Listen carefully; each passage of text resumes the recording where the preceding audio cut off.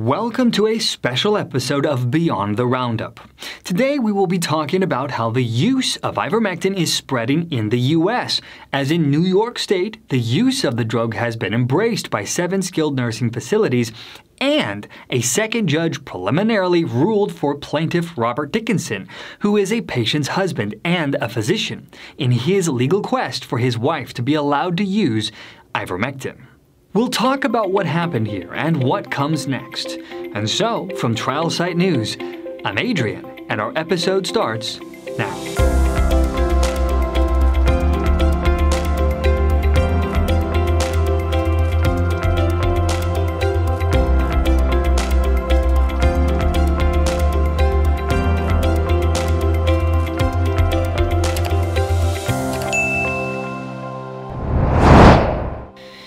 So, as we reported in a recent video, the NIH updated their stance on ivermectin in regards to its use as a treatment for COVID 19.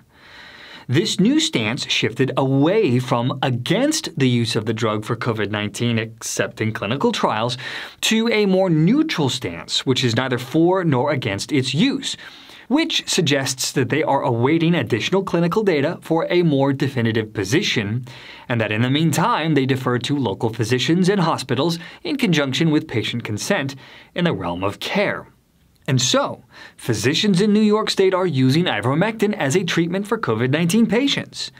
In a story from the Buffalo News, Dan Herbeck reported that although Dr. Paul Shields cannot make any claims about the FDA approved drug for treating COVID 19, the medical director for seven skilled nursing facilities does believe it has, and I quote, helped 80 out of 90 of his patients recover at an Elderwood nursing home for COVID 19 patients in Amherst. Now, Dr. Shields appears pragmatic and a realist, facing the dangers of the pandemic with over 450,000 deaths and over 27 million cases here in the U.S. alone. He told the Buffalo News that, I am not trying to become the poster boy for ivermectin. I'm not calling it a miracle drug, but it is part of the regimen of drugs we now use to treat COVID 19 patients. In parallel, Dr. Zerline Snyderman, a medical director of the McGuire Group, a group of healthcare facilities serving Western New York and Long Island, reported that the group of multiple skilled nursing facilities has successfully treated patients using the drug at the Amherst, New York Harris Hill Nursing Facility, which specializes in COVID 19 care. The doctors interviewed reported no adverse events or material side effects. Real world data indicated it could possibly help. Now, in the meantime, Medina, New York based Dr. Thomas Madejski also now prescribes ivermectin for COVID 19 patients. As a former president of the New York State Medical Society, Dr. Madejski makes clear that he doesn't speak for the organization, but he is on the record that he has used the drug to treat patients in Erie, Niagara, and Orleans County. So now let's talk about the second case of a judge ordering a hospital to allow a patient access to ivermectin. Interestingly, Dr. Thomas Madejski was at the forefront of a legal battle where, for the second time, New York doctors and patients needed to go to court to access ivermectin. The first incident we covered in a news roundup back on January 18th. It was about Judith Smentkiewicz, an 80 year old woman who received the drug after her family took Millard Fillmore Suburban Hospital to court over their decision to disallow the use of ivermectin. In that case, New York Supreme Court Judge Henry J. Nowak aligned with the family, and she was able to continue receiving her treatment and went on to recover. Now, in this second case, Judge Frank Caruso, also with the New York Supreme Court, Orleans County, has preliminarily ruled for plaintiff Robert Dickinson, who is a patient's husband and a physician in his legal quest for his wife to be allowed to use ivermectin. Now, Glenna Dickinson, Robert Dickinson's wife, was admitted to the hospital on January 12th with rapidly declining oxygen levels, and on January 17th, she was moved to the ICU and intubated with a 40% chance of survival odds. The Dickinson's daughter, Natalie, happened to be informed about ivermectin's benefits and safety, and based on her input, Robert approved his daughter to request the ICU doctor to try ivermectin. But the doctor refused. And so Robert went to their family doctor, who just so happened to be Dr. Thomas Madejski. Now, Dr. Madejski, in a declaration to the court, told the treating doctor that he was finding success with ivermectin in his own practice. When this didn't help, Madejski himself prescribed the drug with the plan that Natalie would deliver it.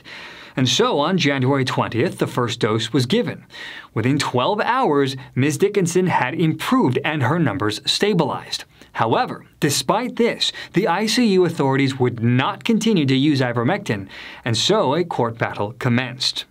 And so, in an order to show cause, from January 21st, the Honorable Frank Caruso said that he reviewed the filings by Dickinson and Madejski and their exhibits, and he noted that the plaintiff, Robert Dickinson, seeks an order granting him immediate and emergency relief, compelling the defendants and their agents to comply with primary care physician Dr. Thomas Madejski's order prescribing ivermectin to their mutual patient, Glenna Dickinson, according to its dosage for COVID 19 namely 12 milligrams on day 1, day 3, day 5, and every other day thereafter as ordered by Dr. Madejski. Now, key here, the judge ordered that pending the court case, ivermectin must be given as prescribed by primary care doctor Madejski. Now, while all of this goes on, the FDA, as of their last update on the status of COVID-19 and ivermectin back on December 12th of 2020, cautions against the use of the drug as a treatment for COVID-19. And they tell their readers that they should not take any medicine to treat or prevent COVID-19 unless it has been prescribed by a health provider. Meanwhile, advocates for ivermectin say it has saved many thousands of lives in other countries, such as Brazil, Peru, Ecuador, Egypt, and parts of India. Dr. Pierre Kory of the Frontline COVID 19 Critical Care Alliance, who has been imploring the federal government to recognize ivermectin as a COVID 19 treatment, also said that there are 54 studies underway all over the world, and many of the preliminary results have been positive. A growing number of hospitals and nursing care facilities are using it. And Dr. Kory went on to say that he believes ivermectin will eventually be recognized worldwide as a COVID 19 treatment, but said that the question he can't answer is, is when. And so it appears that Western New York has become a focal point of the ivermectin debate here in the U.S., as attorney Ralph Lorigo, who represented Judith Smentkiewicz, told the Buffalo News that this past week we've had calls from people in Australia, California, and the United Kingdom asking us to help their family members get treated with ivermectin. And so, the story unfolding with ivermectin and COVID 19 continues, which of course we will keep you posted on as it continues to develop. From TrialSite News, I'm Adrian, and this has been an episode of Beyond the Roundup. I'll see you all next time.